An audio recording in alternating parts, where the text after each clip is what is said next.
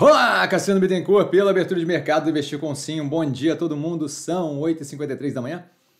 Meio cheio hoje, né? É, do dia 15 do 7 de 2024. O vídeo da organização do canal, como sempre, aqui embaixo na descrição desse vídeo.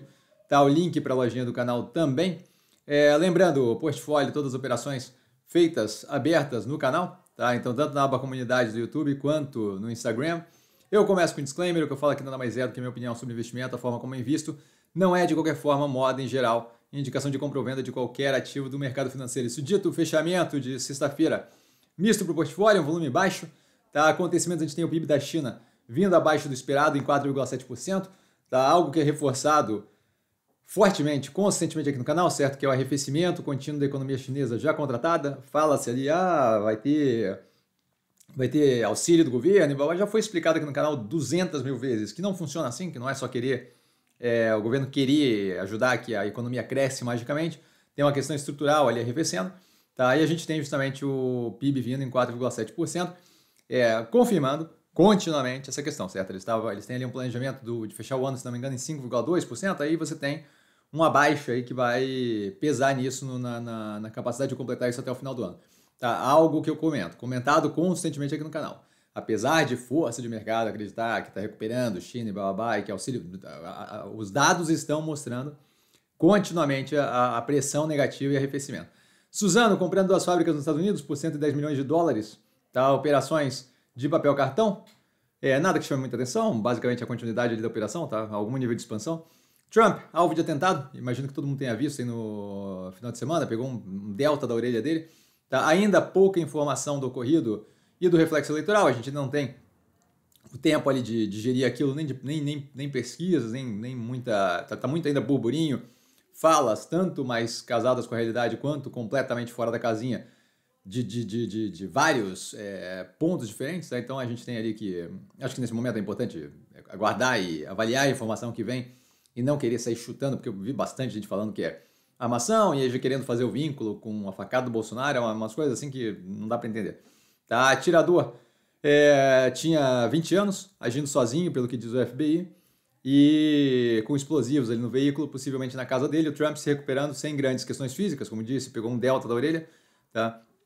Vejo como é, possível auxílio ali à força da candidatura dele no curto prazo, mas a gente tem que ver efetivamente como isso afeta, porque é, no caso ali nos Estados Unidos a gente já, a gente já tinha as bases muito bem fortalecidas nos dois campos, tanto Biden quanto Trump, de modo que aquele, aquele cerne ali da, da força de votos não, não tende a mudar, certo?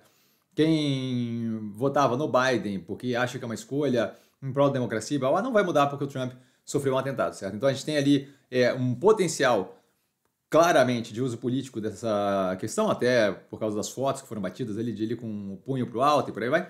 Porém, entretanto, todavia, a avaliação do quão relevante isso vai ser efetivamente para a campanha é positivo, claramente, é no sentido de uso político, mas o quanto isso vai ser positivo efetivamente de reflexo final na campanha, a gente vai observar à medida que as coisas estão indo. A grande discussão semana passada era a questão do Biden é talvez abrir espaço para um outro democrata, vamos ver o que acontece, vamos ver se isso causa alguma influência, mas acho muito cedo para querer sair fazendo previsão. Tá? O governo, já tendo que se explicar pela medida provisória, reunião com os batistas e as vendas, é, da das termoelétricas para Ambar Energia, tá aí falas ali do, do, do, ministro de Minas e Energia dizendo que é choro de perdedor, mas assim, claramente tem, tem, tem, tem uma dinâmica ali bem estranha. Não à toa, a gente falei aqui no canal no primeiro, a primeira, assim que saiu a notícia, falei no canal, que aquela dinâmica ali da Ambar querendo comprar é, termoelétrica que não faz sentido era muito estranho. Na sequência vem uma medida provisória para financiar aquilo ali com o pagamento de imposto do, do, da população, você, você começa achar pouco provável que seja pura coincidência.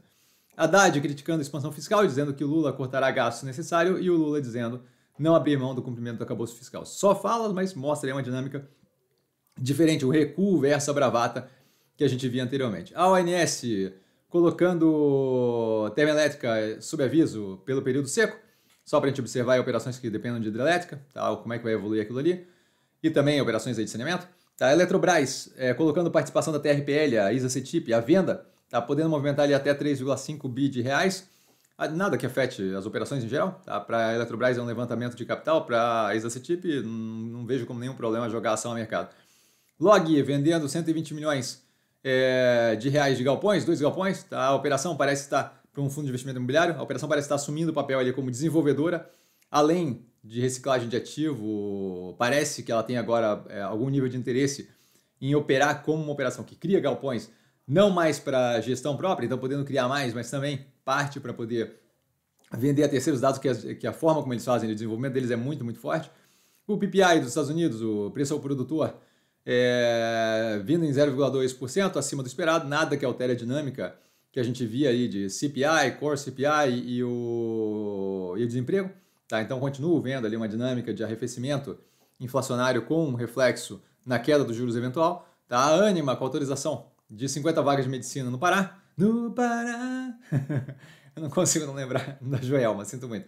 Americanas adiando o grupamento. Nova data será informada até dia 25 e a B3 com baixa de 21,4% no volume negociado em junho.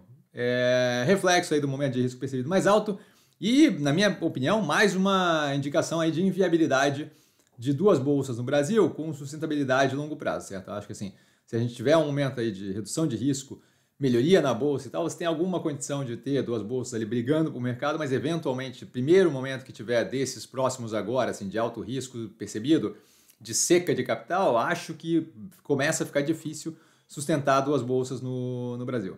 Não estou dizendo que necessariamente a B3 é, ganha uma competição dessa, mas acho que duas bolsas é bem inviável. Tá? Ativos que eu estou observando mais de perto, com base no fechamento de sexta-feira, Grupo Cas Bahia, Azul, MRV, Multi, Lojas Renner, Guararapes, Cirela, Cogna e Minerva. E dúvida? Dúvida estou sempre no Instagram, arroba investir com sim, só ir lá falar comigo, não trago a pessoa amada, mas estou sempre lá tirando dúvida e vale lembrar que quem aprende a pensar bolsa opera como um mero detalhe. Um grande beijo a todo mundo e nos vemos na live mais tarde das 8 às 10 da noite aqui no canal. Valeu galera, beijão!